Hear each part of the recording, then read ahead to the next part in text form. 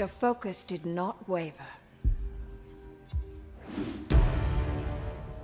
I have a task for you.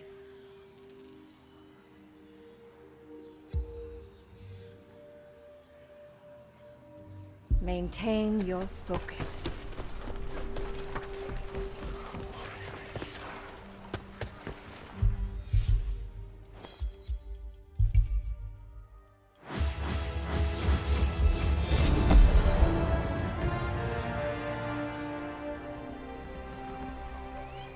Are those weapons treating you? Give those behemoths a taste of us.